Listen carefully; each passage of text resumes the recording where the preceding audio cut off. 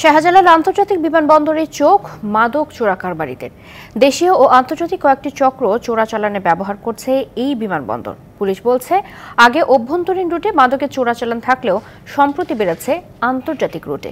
এর সাথে বিমানবন্দরের কেউ কেউ জড়িত থাকতে পারে বলে মত অপরাধ বিশ্লেষকদের। পূর্ব আফ্রিকার দেশ মালাউইয়ের নারী নমথান্দাজু টাওয়েরা সাকু। বুধবার সন্ধ্যায় শত কোটি টাকার কোকেন সহ শাহজালাল আন্তর্জাতিক বিমানবন্দরে গ্রেপ্তার হন তিনি।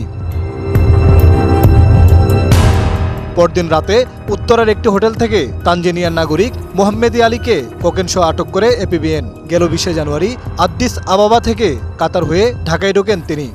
স্কোয়াড দিয়ে আমরা যখন পুরো রুমটা সার্চ করি এবং মোহাম্মদ মোহাম্মদ আলীর যে বিলঙ্গিংস আছে সেগুলো যখন আমরা সার্চ করি, তখন তার সাথে থাকা একটি কালো রঙের ব্যাগে কোকেন রয়েছে বলে আমাদের ডগ স্কোয়াডের ডগ ওলি সে ইন্ডিকেশন দেয়।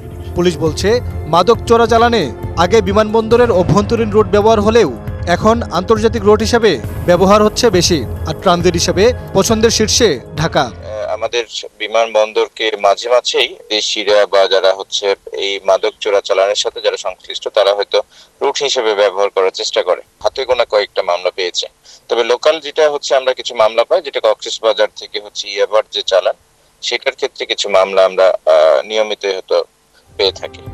মাদক চোরাচালানে বিমানবন্দরের কেউ কেউ জড়িত থাকতে পারে জানিয়ে বিচারের আওতায় আনার তাগিদ দিলেন এই নিরাপত্তা বিশ্লেষক। যে বাংলাদেশ আসলে এই ধরনের মাদক উৎপাদনকারী দেশও নয় এবং ভোক্তাও নয়, বড় ভোক্তাও নয়।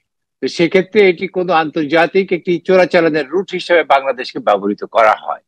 তো সেক্ষেত্রে অবশ্যই এই যে একটা চক্র তৈরি হয়, এই চক্র ভেতরে আমাদের নিজস্ব জনবল কতটুকু জড়িয়ে পড়েছে, আমার মনে হয় সেটা খতিয়ে দেখার প্রয়োজন মাদক চোরাচালান বন্ধ না করতে পারলে বাজেভাবে এর প্রতিক্রিয়া পড়তে পারে।